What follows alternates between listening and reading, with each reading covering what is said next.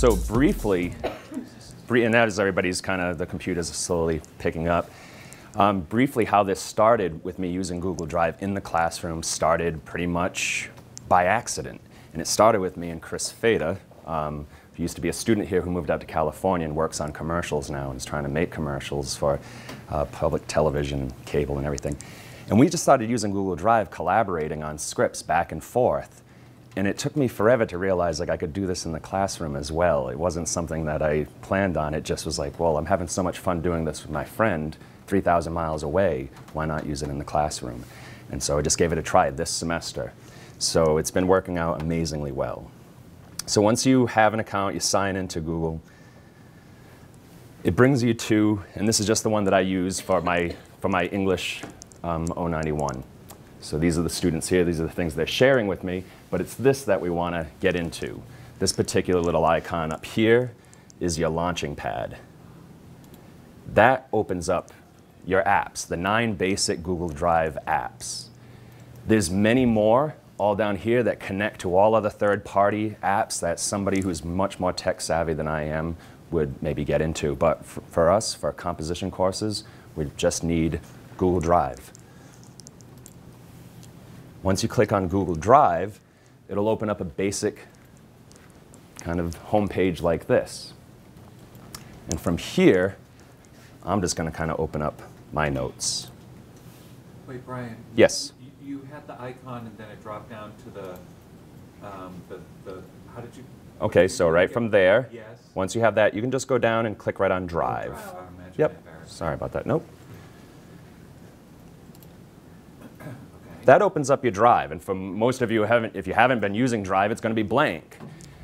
Here's your Create button right up here. From there, it's going to show you all the things that you can create. But let me just kind of go through this. All right. This, and I don't ever do PowerPoint at all. I, I'm very not tech savvy at all, even right to PowerPoint. And, but as I was doing this, I figured let me try Google Drive's presentation, they call it. Extremely user friendly, extremely user friendly. So it worked out really well.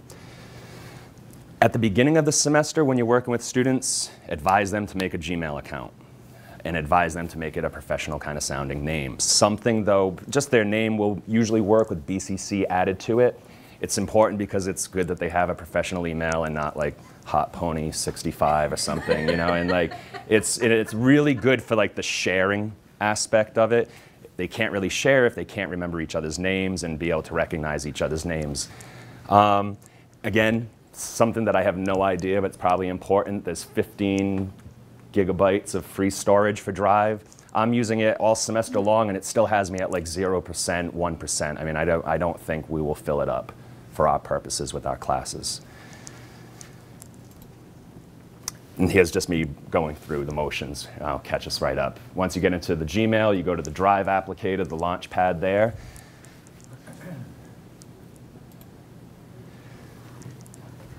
All of this stuff is, yeah, ask any questions, please. Help me along. So it's, it's probably a silly question, it's not really about exactly what we're doing, but I'm thinking about the PowerPoint that you did in, you did this In- in the presentation, Yep. right here. Yep, So let's say you had to present at a conference, yep. you just have it on the, in the cloud, basically, so as long as they have internet, you can get to your presentation. in the cloud, and just like we practice or preach to the students, have a backup. You can also download this to a flash drive. So there's multiple ways to save it so you don't ever have to get into that situation. to me that that a better way to go than PowerPoint. There's a button. I mean, what is the format that it comes out in? There's like seven different formats that you can save it in. PDF, ODT, RTF. Um, this becomes really important. I, I'm also doing this with the Gateway students, the Gateway to College students. Like a lot of students on this particular campus are all over, we can't always assume that they're going to have home computers, particularly with Gateway students um, coming from different uh, environments at home, they, they might not have a home computer. Even if they do have a home computer, it's even more of a stretch to assume they're going to have Microsoft Office. There's many ways around that issue, but I find Google Drive is the easiest because composing in Google Documents is essentially free Word. It's exactly like Word. It functions just like Word.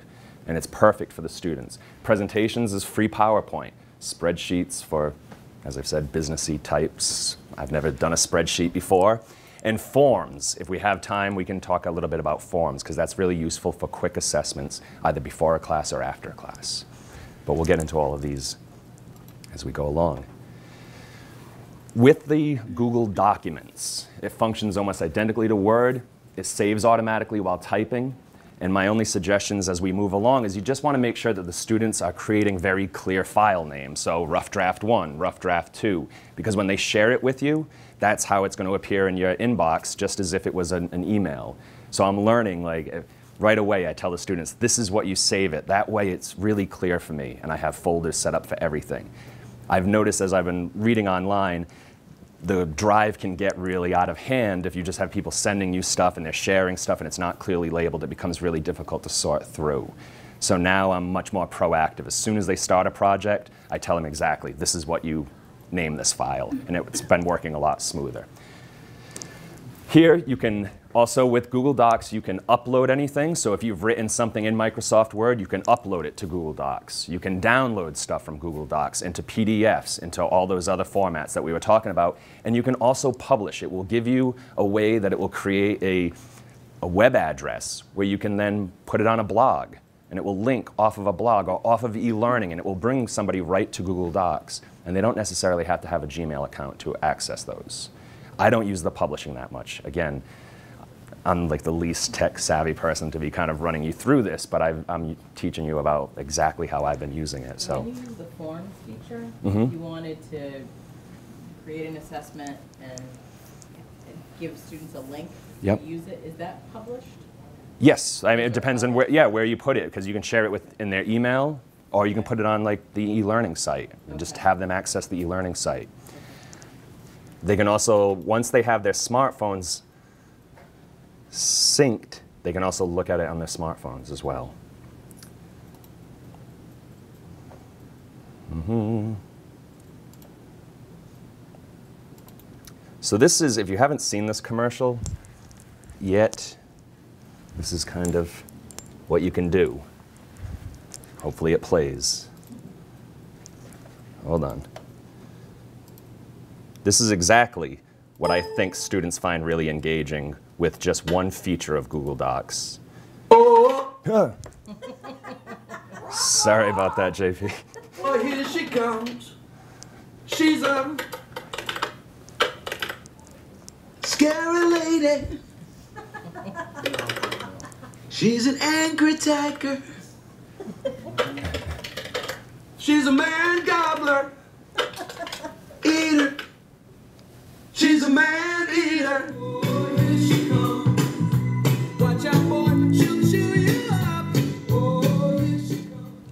Again, that's just one feature of how you can use it as that instantaneous collaboration. Um, and it's, it's just that simple. Once you share, once you're both looking at the same document, which is what we'll be doing in a little while, it will notify you who else is looking at your document with an icon in the top right hand corner. And as, as we're doing instantaneous collaborations, it pops up just like that. And again, as far as the going into kind of why I think it works, is it makes the drafting, composing, editing feel more alive. That's the only way that I can kind of describe it. It makes it feel like a more engaging, active, never-ending process in a way, which I think many of us realize that's what editing is. It goes on forever until it's kind of taken away from you, until you've got the deadline. So that's what I really like about it. And I'm seeing the students using it a lot, um, using that feature. Instead of then just, well, okay, I printed out my rough draft, make a few little changes, then it's like I made another one. And it's always these big spaces in between where they're not really working on the document. It also make you think we could have a course theme song, Yeah, absolutely. So that is one way, and I'm going to go back, but that's one way instantaneous collaboration. As you're writing, you can write together and you can make comments. This is the other fairly traditional way that you comment on a peer's paper with you know, instructional review and peer review, just the traditional comment feature. Very straightforward. Something you like or don't like, you highlight it, you hit the comment feature, which we'll get to, and it just pops up a square over here. You put in your comment.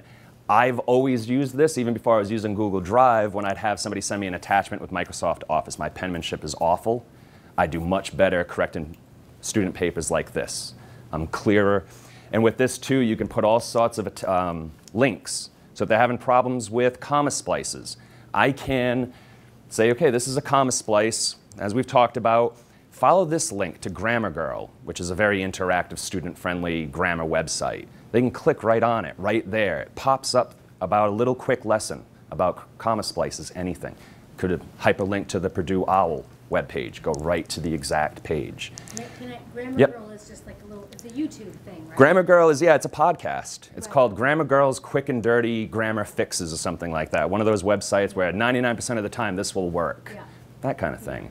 And it's really effective. And again, it's much more effective for me to put it into a comment with just the link where if they're looking at it, they can click on it. So students can do this, and I do it as well. And we're going to look at some in a minute. Um, once they've dealt with the issue, there's also a button where you can resolve the comment. So you're just not littering the paper with comments. Once they fix it, they can click, it's resolved, I've done this. You can also set up a notification where you get an email when they do resolve it. That can get a little overwhelming when you get 50 emails in your box saying, I fixed this, I fixed that, comma splice. So I don't, I don't tend to set that up and make it mandatory unless it was something really major. Like your intro is missing a thesis statement. That's a comment. Please respond to me when you've addressed this. Click the resolve and email me. And that can be really beneficial. Again, I think it puts a little bit more of the I've got to do this mentality. I've got to fix this before I can move on. That kind of a thing. Anita, oh, no, you didn't. Yeah, yeah, right. Yeah, and we're going to look at that in a minute too. As a, we can, there's a great way to review all these changes as well. So that's two ways. There's the instantaneous collaboration, the Hall and Oates thing. There's the regular traditional comment feature. And then there's also something called just live chat, which is basically texting or instant message or anything like that, where if they've got their paper up and they just see that I'm on their paper, they can click a little dialog box, it pops up a text box, and we can just talk right there, just like you would in Google Chat or texting on a phone. That's it. The one big thing that I found with this feature, there's three ways that I figured out how to comment.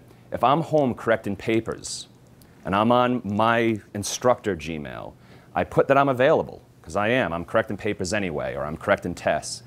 If somebody's working on their paper right then and there and they see my little green light is on, they can shoot me a message real quick. Hey, I'm struggling with this, or what is this?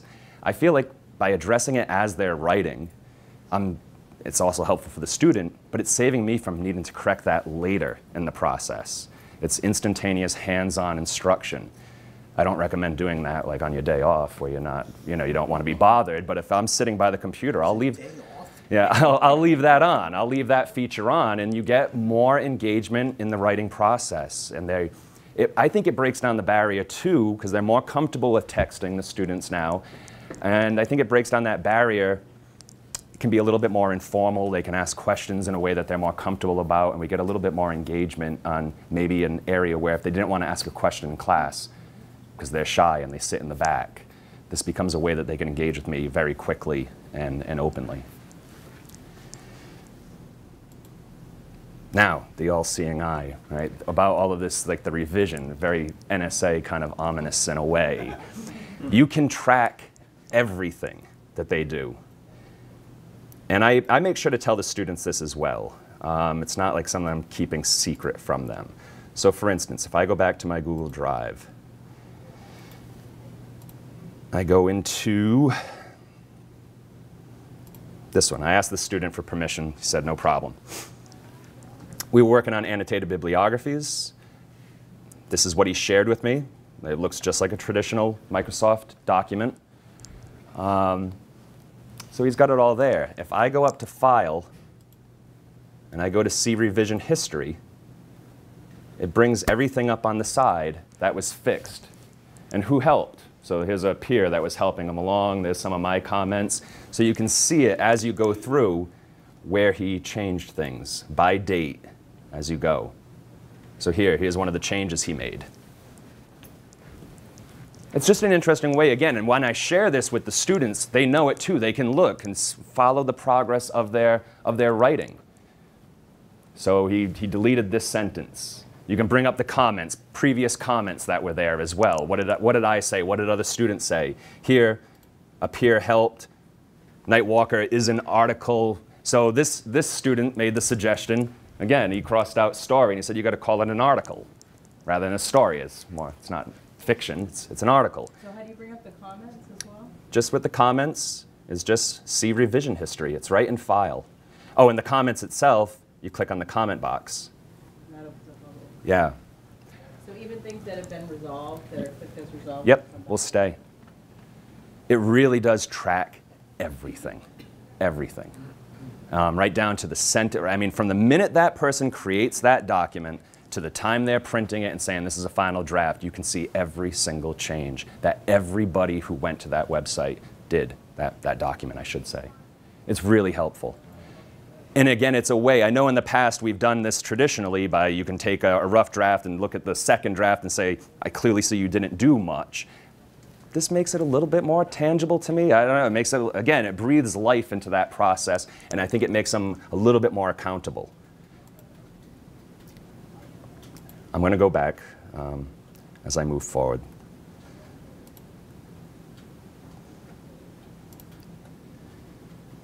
So the students, instructors can track and monitor all changes, and it can also be used as a backup restore. So all those points of history that were on the right, anytime you click on one of those, it says, would you like to restore or go back to this version?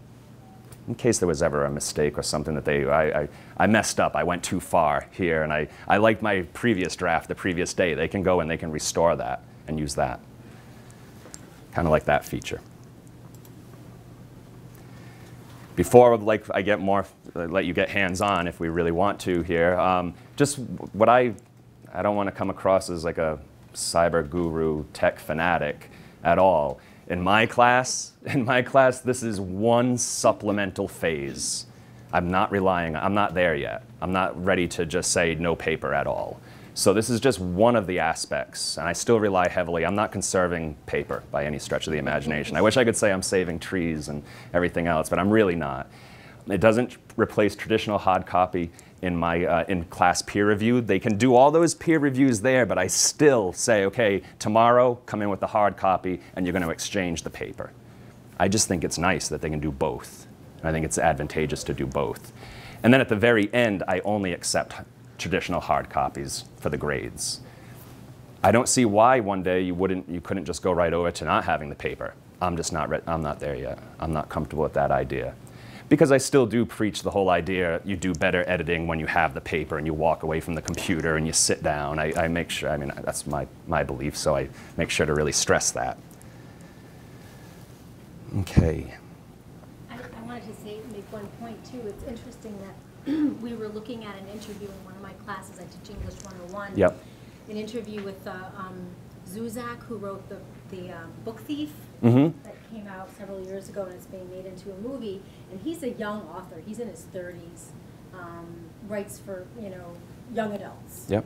Um, he he hand writes first his documents Yeah. before he, he before he goes to the computer, which I thought was really interesting because he would be a digital native. Right. You would think. Yep. But he doesn't do that. He writes for whatever reason. I'd like to find out why, but he writes it out longhand.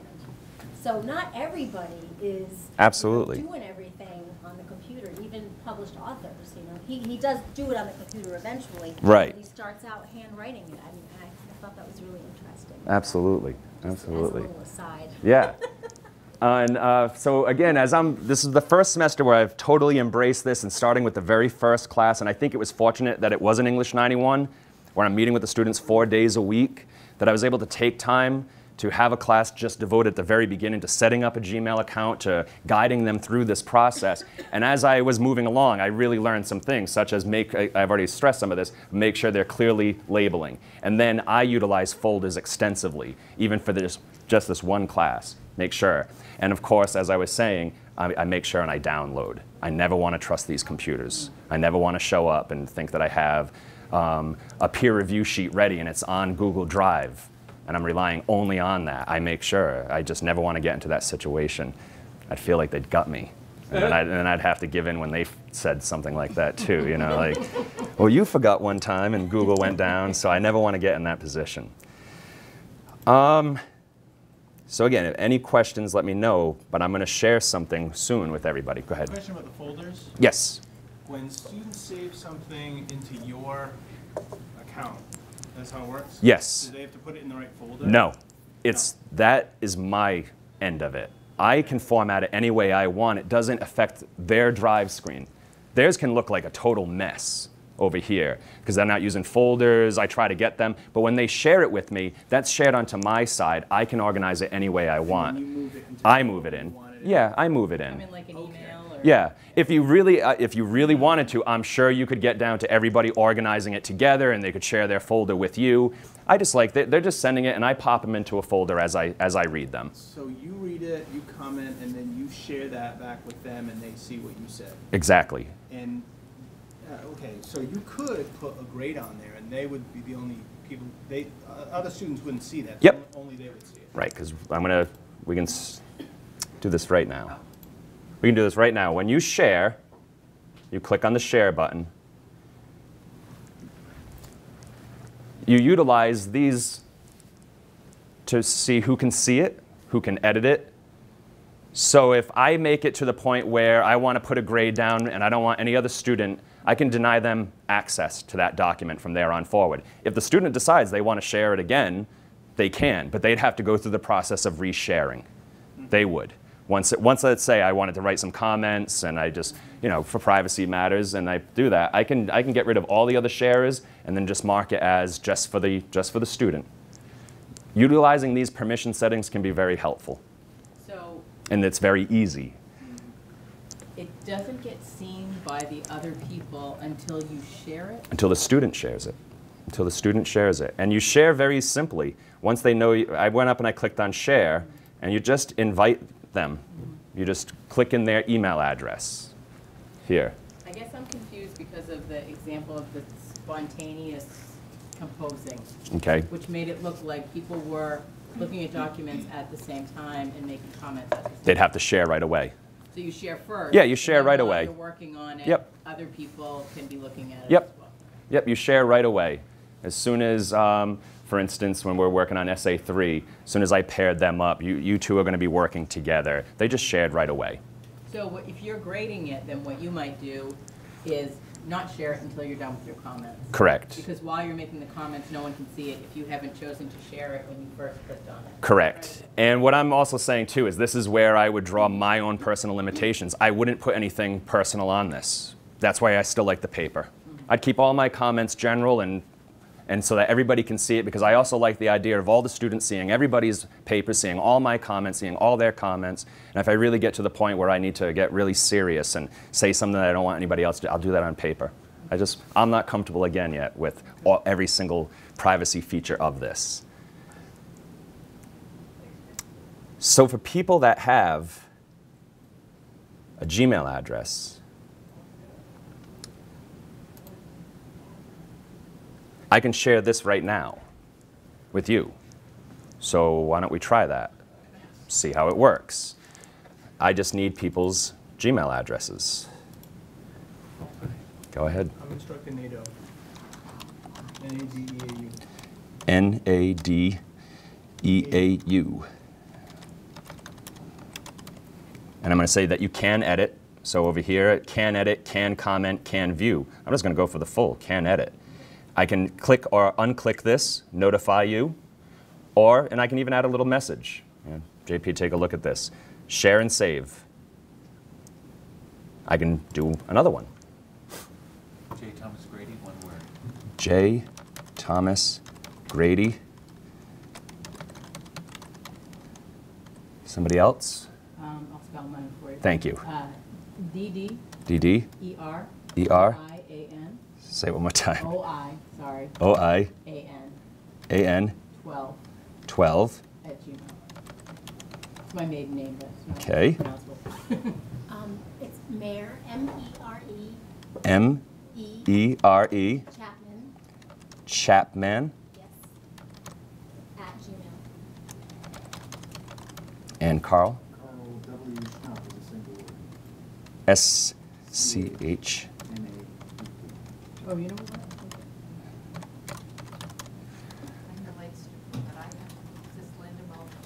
Awesome. Linda? Okay, now that should work.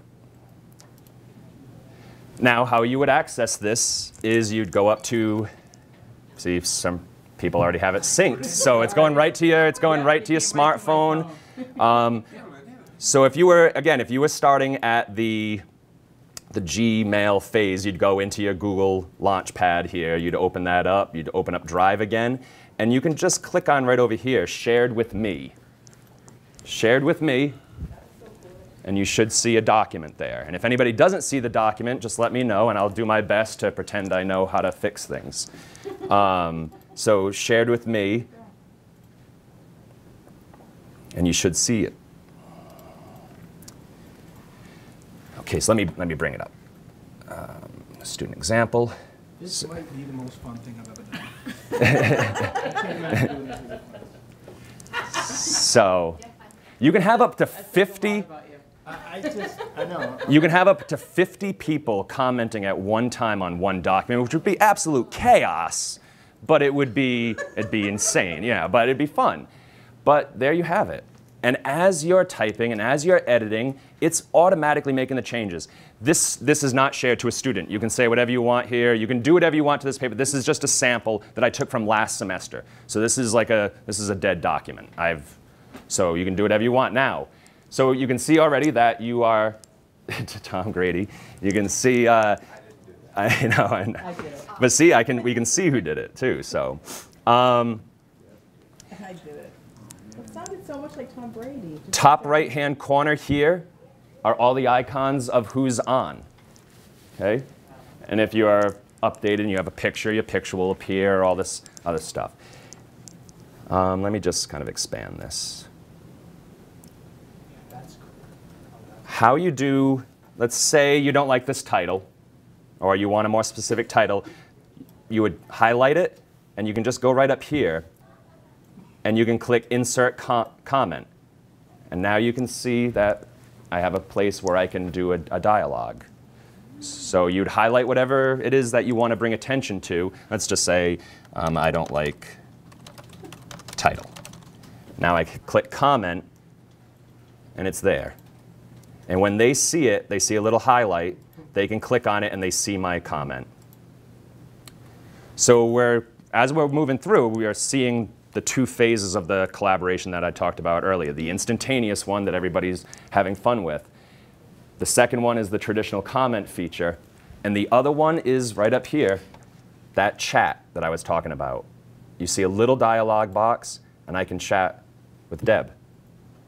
I can also chat with anybody else simply by clicking and chat. And that's this one's nice because it's a little bit more separated. It's not going onto the paper. It's live dialogue. When they close this out, it will save. Again, Google is saving everything, which is somewhat scary and also very interesting. But it will be there. They'll be able to even bring up these chats again. They just have to look at their chat history and it will be there. But I like this one for two students just now. I was just teaching. They were sitting across the classroom, and one of them started yelling, What do you mean by this? What do you mean? I was like, Please, just use the chat feature. Uh, You can do that. And they were like, Oh, yeah, yeah, yeah. So, again, it's, it's, it's instantaneous collaboration, editing. It makes the document feel alive. That's really it. That's, that's, that's using Google Docs. But let me, okay. Sure. Uh, talk about sort of the live moment in class? Sure. A little bit more that's really fresh. I can tell you that I have a student in my 092 who is well-heeled in this. Okay. And he really, he humbled me by saying, it would be really great if you use this instead of uh, just the thumb drive that Sure. we're using, right? Yep. And I said, well, I, you know, I really want to use the cloud, but I'm not, not well heeled in it enough yet, so. But anyway, the, the only problem I see with him is he's pretty much devoted to it. Okay? He does not want to use Microsoft Word, and I suspect he doesn't own it. Mm-hmm. The problem is, is when he downloads this stuff, there is formatting issues. There's a couple of little formatting issues, absolutely. And, um, It's not 100%. No, like mar- uh, margins. Yep. And he is, I think it's, it's de- a developmental thing, like Mhm. he's just not getting the memo that every single time he hands in a paper. Sure. He doesn't do that next step to Oh, format it. Sure. So here's, so it's basically a, a two-part question as far as the, the live portion, and I can use a, a perfect example from yesterday. Really s- stressing still to the uh, English 91 students that there's a certain aspect of the introductory paragraph that it should be engaging. Seems relatively basic, but it's still something that they're, they're struggling with. I get a lot of very worker type intros where it's just the thesis statement. There's no kind of that special hook there. The way that we were using this yesterday, again, was to make it very instantaneous. So, and they all know that I'm at any time we could share, we could project, we can look. And I just, we call everybody out right away in a nice, fair way. Bring up somebody's intro, everybody reads it together. They've all got it on their computers too, but we're, we're engaging live everybody reads it, and you can just start going around. Is that engaging? Were you intrigued? Were you hooked in? No.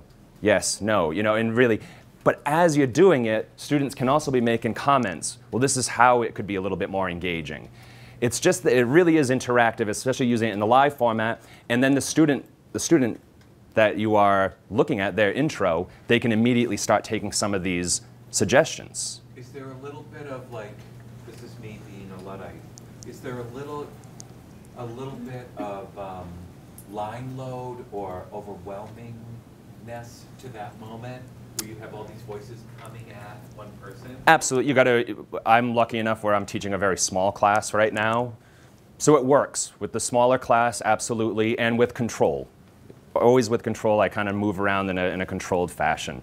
Um, maybe only asking one student. So we're looking at one student's paper. Let this other student be the editor for right now, the commentator. Let them make some suggestions, you know, and, and just limit it to that. Even though we're all looking at it again, we're all looking at it. We're looking at it up here, and we're looking at it on our screens. The second portion of that question is the formatting. I'm not 100% on that. What I've told some students, because I've noticed some of the formatting when they print or when they're trying to move it and it's changing, Yeah.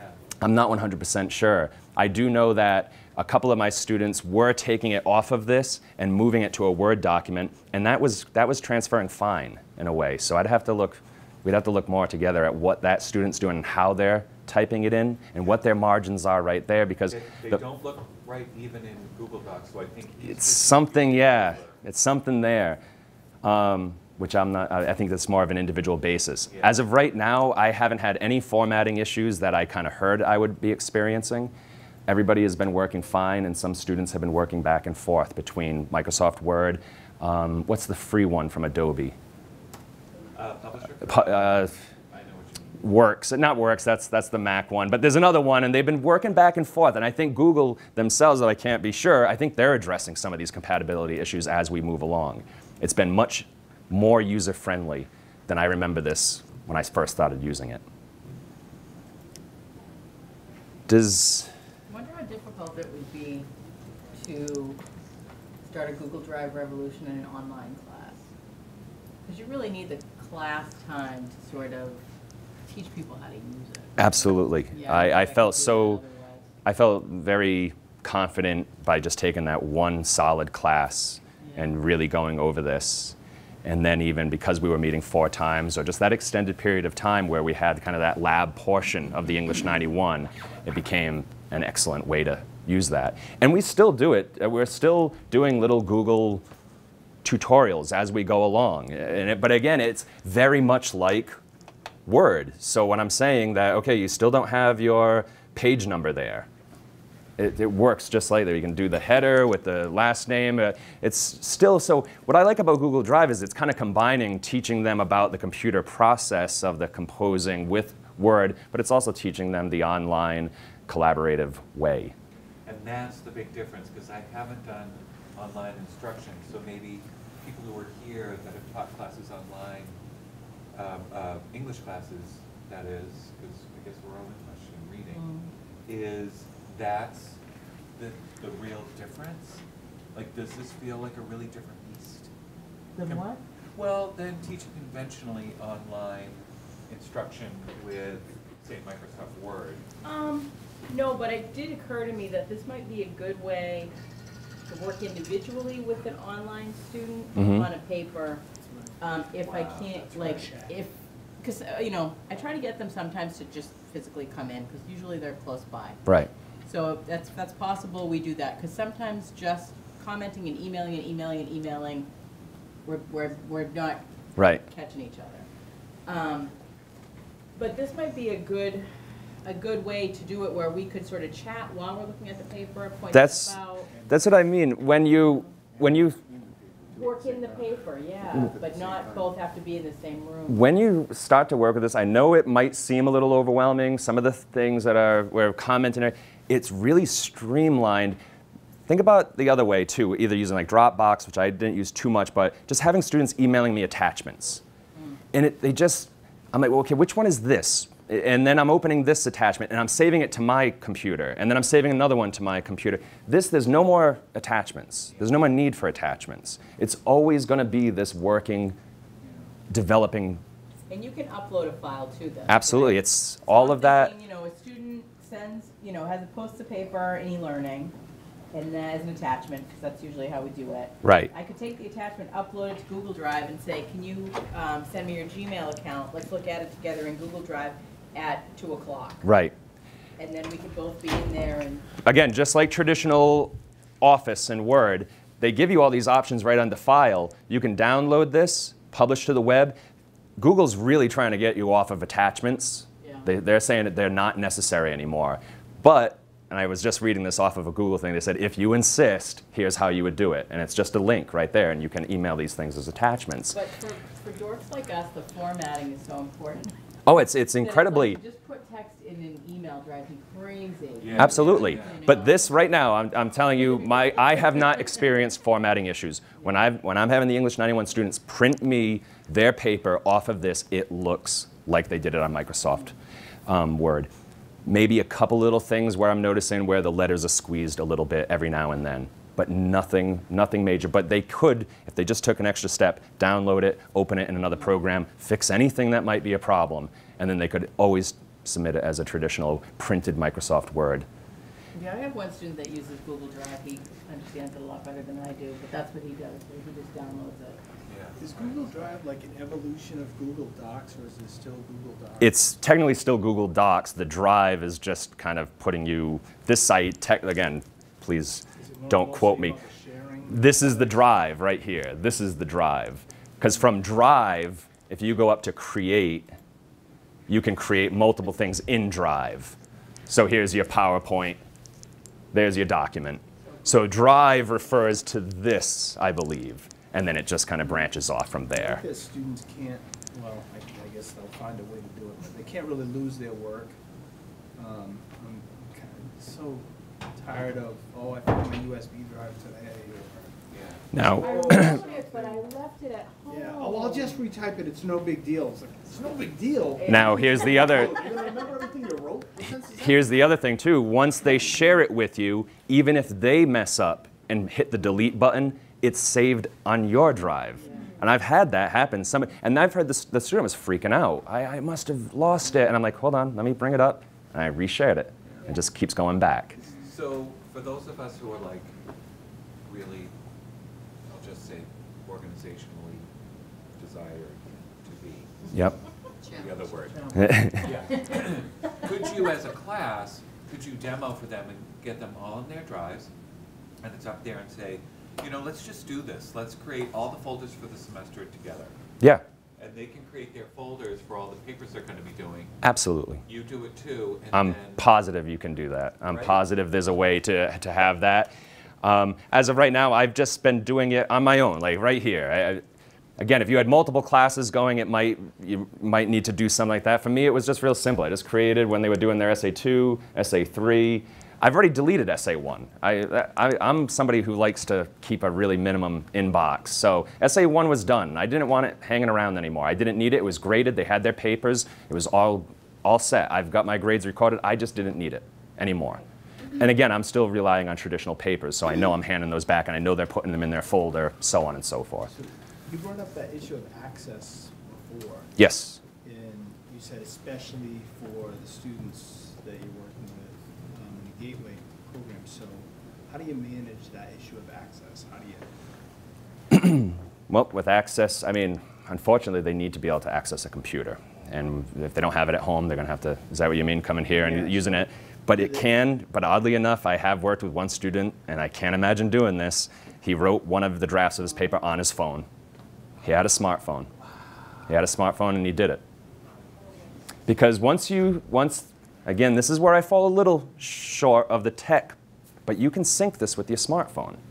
And then when you bring up your Gmail on your phone, it will have the, the Google Drive feature, and you just click on it there too, and it will bring it up. It will be in a much smaller area, but you can do it. You can do it, and I had a student do that. And they went away, and that's when they said they wrote it. They were on a bus trip somewhere, and on the bus they were bored, and so they were working on their paper. Damn it! Watch the potholes. Right, right there. The, the other idea with that is when you have the class, and it's not going to work for everybody for the, the smartphones, not everybody has them, but it will work with this. You can also sync the, the Google Calendar.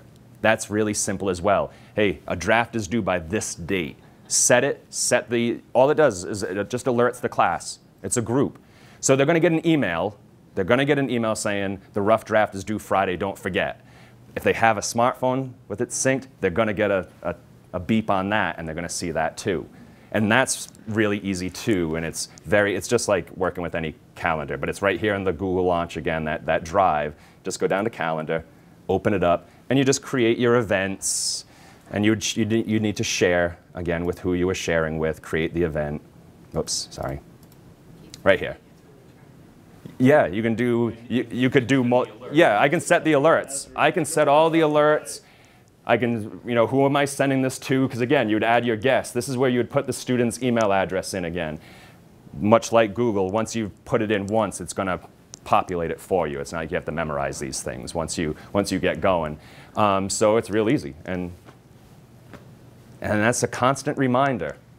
I can set it up to remind them two weeks before, one week before, three days before, two hours before. I can set up as many reminders as I want. So this is a lot like e-learning.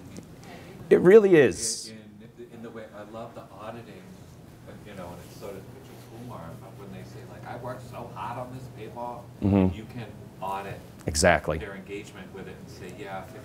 Yeah, and I find it's really, uh, really helpful, and I think it's, Fifteen minutes of intense work on a paper equals two hours yes. of lackadaisical effort. and again, when, if, with all the students knowing this too, that you're going to be reviewing these aspects, it's really a moment of owning up to your work because if I bring it up and I say, really? And they know that I'm going to do this. Really, you worked on this hard last night. Sure about that? You want me to check? Because I can check right now. And you, you will get honesty, you'll get, you'll get responsible answers, and, and people will know. They'll say, yeah, you're right, I, I, I didn't. I got to work on it more. I see that now. I see that. And projecting papers up onto the screen, there wasn't one student that had a, an, a, an intro yesterday that wasn't engaging, right? So they didn't write an engaging intro. As soon as it was up on the screen, they were like, ah, I see it. I know. I know. I can see it now. You know, like it's not engaging. It's not hooking me in the way that the previous students intro did. It's like that instantaneous. Whether they fix it or not, I mean, that's where we're always struggling anyway. But at least they're seeing it and we're all engaging with it and we can all comment. Not just spoken, but comments that stick. Comments that stick to the document. Um, Any, has anyone expressed concerns about privacy because it's in the cloud versus, you know, e-learning where it's a closed system? No, I haven't had any of my students right now express that kind of concern, and I wouldn't know how private it is. It's private enough where they can set their own sharing uh, options on it. Um, and that's kind of the limit of my knowledge about how private this is. Yeah, someone probably couldn't find it, Right. find their work and go into it. Well, I don't, usually, I, to, not to stereotype, but usually younger students don't care at all about Right. those issues anyway. Yep. But, uh, you know, uh, sometimes other students, more non-traditional students might say, you know what, I try to keep all my stuff off. Off, Google, yeah, I don't right. like Facebook, I Yeah. don't do this, that, and the other, and I always wonder about making it a course requirement to Sure. have a Gmail account or something that kind of, you know, because once Google gets. Oh, absolutely. And I mean, if, if, on you, it's like they start pulling every. if you have any kind of conspiracy theorist person, Google is going to be something they might not want to engage in. Yeah. But luckily, I have all young students right now who were just, most of them had, they mostly had Gmail set up anyway. Well, it might be interesting, you know, if we had some Google Walk in the room to say, because I was looking at this, and it's kind of like, um, reminds me of, I use Dropbox frequently, and, and I use it with college as well, is that what's in it for Dropbox, and I feel like, I suspect that Dropbox is gonna say, we're making it free and there's no pop-ups Yeah. to get you in, and then eventually we're gonna say, so you want more bandwidth, we want five dollars. Right. They do, that's what they do. Right. That- Right. That's what they do, you want more storage. Right, Yeah. but with this, I'm wondering, is it that they have a Google mail address? Mm. That now it's kind of like, great, now we can send you, we can sell you soap Right. through an email. Yep. If that's all they want, I think that, I mean, they tell you. could be. Uh, I think that makes a lot of sense. Um, and I mean, yeah, that, that, that privacy issue is going to be there if the, if the person wants to make that the issue. And then you're going to have to deal with that on an individual basis. Right, I was just curious if that, I mean, Right. I sort of didn't expect it Right. the population that you're working with. Yep. Um, But I could see it. I mean, I could see it. It makes sense. Um, so, that's that.